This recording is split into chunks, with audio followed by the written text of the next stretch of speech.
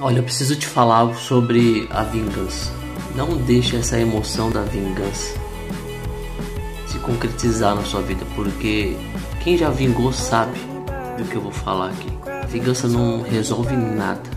A gente tem a falsa sensação de quando a gente vai fazer uma vingança para alguém de que vai trazer uma sensação boa depois da vingança, uma sensação de superioridade, uma sensação de estar por cima. E é mentira, essa sensação ela não existe. Todo mundo que vingou sabe o que eu tô falando. Depois que você vinga, você não resolve nenhum dos problemas. Você não resolve nem esse problema consigo mesmo e se sentir bem e melhor, e nem o problema com a pessoa que você se vingou.